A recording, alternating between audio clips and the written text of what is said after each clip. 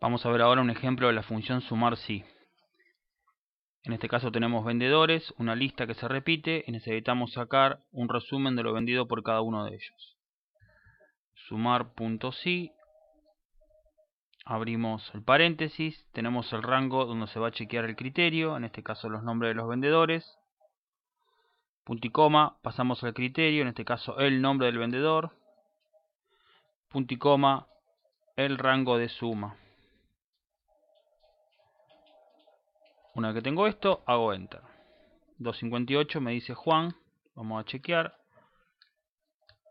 Correcto 258. Cuando bajo, me doy cuenta que cuando pongo F2, que hay un problema. Los rangos se han movido.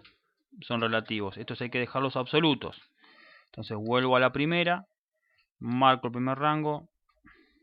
Presiono F4. Marco el segundo rango presiono F4 vuelvo a copiar y ahora me fijo y veo que los rangos no se mueven